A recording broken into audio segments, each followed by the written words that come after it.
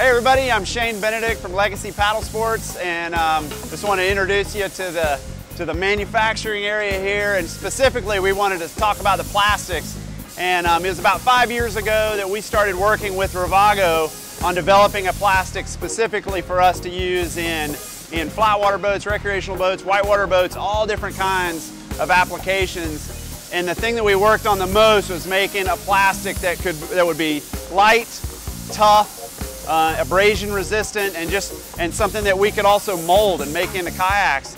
And it took us a couple of years of working with the guys at Ravago to develop it, and we did a lot of testing. We took all of our really gnarly, hardcore whitewater kayakers and had them all fill out specific forms and evaluations on all the different plastics throughout a couple of years um, to evaluate the toughness of it We've also spent all that time molding those boats to practice how it molded, checking all the different recipes and temperatures and cook cycles, and, um, and developed through that time with Ravago what is now called Aquatuf, which is the plastic that we use at Legacy Paddlesports.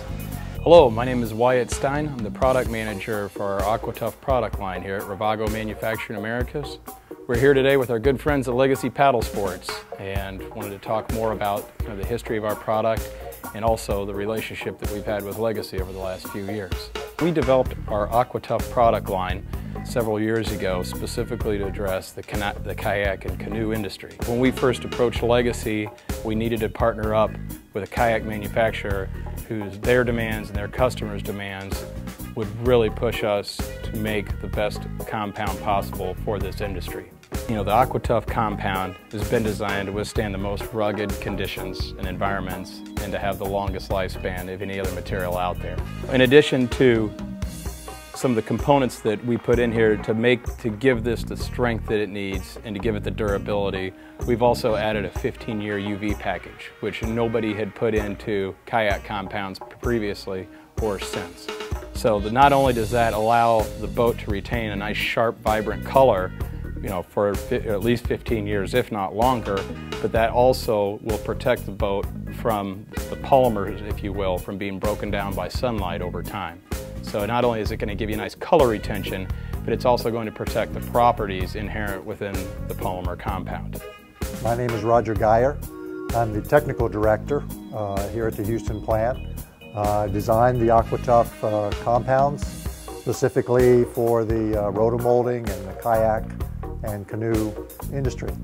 Here at Ravago Manufacturing, um, we uh, wanted to be involved in the kayak industry. We're a custom compounder, so the materials that we design and produce here are custom, they're designed specifically and tailored for our customers' needs.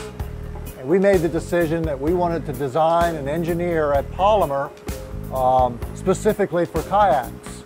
Since there's not a standard resin in the industry, uh, like is used for films and bottles and so forth. We want to design a specific resin that would perform uh, specifically in the kayak application. And we came up with the Aquatuf uh, trade name. It's a registered trade name. Uh, we've been very successful. Uh, we brought this product to Legacy a number of years ago.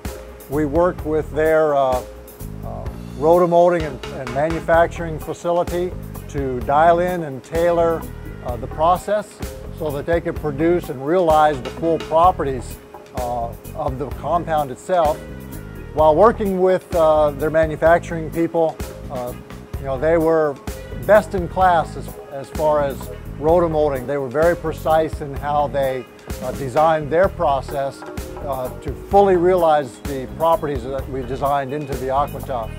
So they have been successful with that process. And uh, a big part of their success is, is being able to manufacture and process the material uh, into a hull uh, that has superior performance from a material standpoint, from the compound that we designed, and from the process that, that they then use to make uh, into a hull for the, for the watercraft. Through that process of, uh, of creating that plastic, Ravago set us up with a really good place to start with, creating the right materials for us to make our boats with. The next phase of that whole process is manufacturing. And it really is a lot like cooking anything. You could be cooking a cake or cookies or, or a kayak.